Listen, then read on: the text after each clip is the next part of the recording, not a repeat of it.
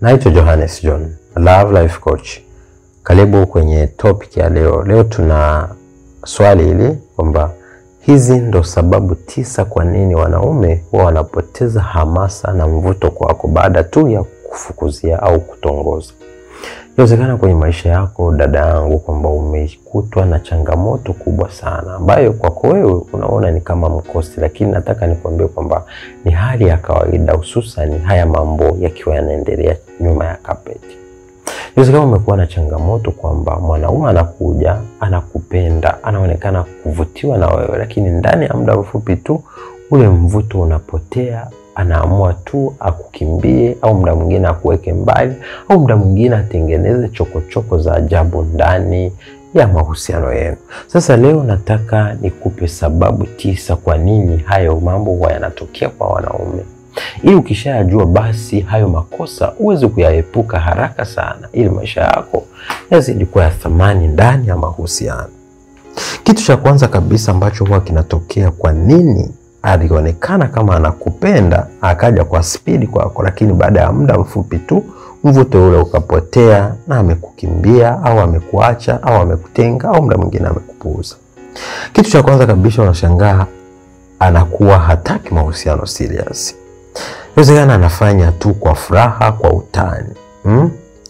Inawezekana watu wengi huwa wanafurahi tu wakiingia kwenye mahusiano na mwanamke fulani, wachezeane, wafanye sex wafanye kila aina ya utani, starehe tu, lakini yale mahusiano serious ya kuwa na mtu na mme au mtu na familia au kuzaa watoto, hicho kitu anakuwa hataki. Ndio maana unashangaa mvuto umepungua na anataka akukimbia au muda mwingine amesha kukimbia.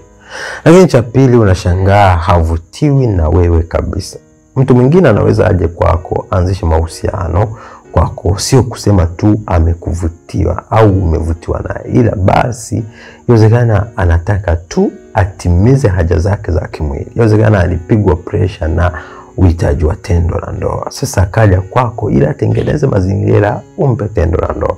Inawezekana ulijichanganya ukampa au haujampa, basi baada ya kwa sababu hujampa akaona, ah, sasa kwa nini niendelee kukaa na huyu mtu ambaye simpendi, ila nilikuwa nahitaji kitu fulani, au inawezekana aamua kukimbia kwa sababu umeshamwonyesha, amesha kuona, amesha hana chochote kile cha ziada, basi anaamua aondoke.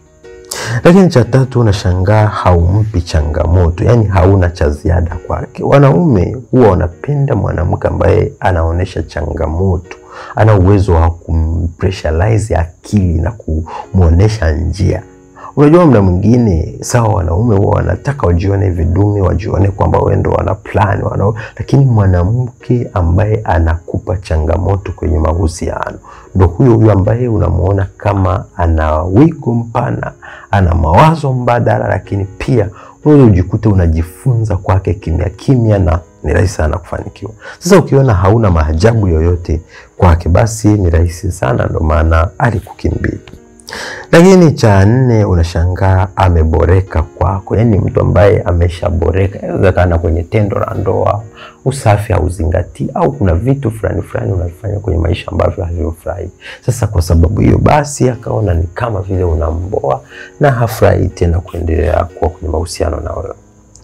Lakini inawezekana cha tano, amekuwa na tegemezi kubwa sana. Inawezekana wewe umekuwa ni kupe, kila chochote unamtegemea, nguo za ndani, chakula, maradhi, mavazi, yaani umegeuka ni kama mtoto ambaye umezaliwa unanyonya kila wakati na unahitaji na unalia pale unapokosa. Sasa ukiwa ni mtu ambaye ni tegemezi asilimia mia, mpenzi hakuna atakayekuvumilia, atatamani uondoke kwenye maisha yake ili awe huru. Lakini cha sita, unashangaa unaonesha hali ya kutojiamini na hofu, yaani umekuwa ni mtu ambaye huna misingi ya kujiamini. Wanaume wengi, ukiwa ni mtu ambaye kila muda unahofia hili unahofia hili unahofia hili, basi unamtengeneza na yeye aanze kuwa ni mtu wa hofu, kuogopa, kutokuwa jasiri na kukosa ule wanaume kama wanaume. Sasa akikuona hivyo, anasema sasa, huyu siwezi nikadumu naye kwa sababu ni mtu ambaye atanikatisha tamaa na sitoweza kufanikisha jambo lolote. Lakini cha saba, unashangaa anakuona haumwendani naye, inawezekana haumridhishi, sio tu kwa tendo, lakini pia labda kwenye kimaumbile, kimwonekano, labda akiwa anatoka sehemu anaenda sehemu. Kwa sababu hiyo tu anakuona kama vile hauendani naye, basi unashangaa anakuweka mbali, kwa muda mwingine anakukimbia. Lakini cha tisa na cha mwisho lakini I mean cha nane, unashangaa anahisi ana mbadala mzuri zaidi. Sasa wanaume wengi kwa sababu aidha ameanzisha mahusiano zaidi ya sehemu moja, basi anakuwa anategeshea. Akiona huku pamekaa poa zaidi ya huku, utashangaa hapa ameingia siku mbili tatu, ameshajiweka mbali, ameingia huku. Sasa ni mwanamke ambao unakuta kila wakati anazunguka, hana misingi mara, na at the end of the day hawezi akafanikisha jambo lolote hapa duniani. Lakini cha tisa ambacho nakushauri kizingatie haraka sana, ili ukifanya kwa yule mwanaume ambaye amepoteza mvuto kwako, usije ukateseka ukaumia na kuchanganyikiwa zaidi kwenye mahusiano, ni ulikimbilia kumwonesha hmm, kumpenda au iwezekana kwenye mahusiano yako ulikimbilia sana kumwonyesha.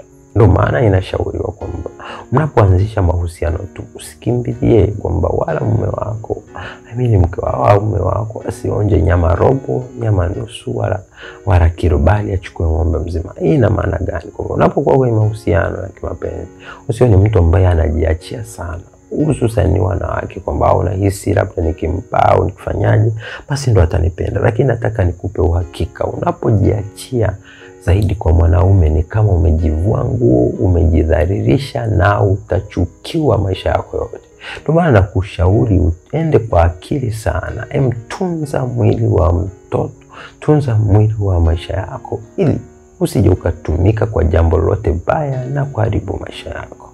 Asante sana kwa kuendelea kuwa mwanadarasa wa darasa linaloendelea kila siku ya Mungu kwenye chaneli hii. Mimi naitwa Kocha Johannes and see you on the next lesson.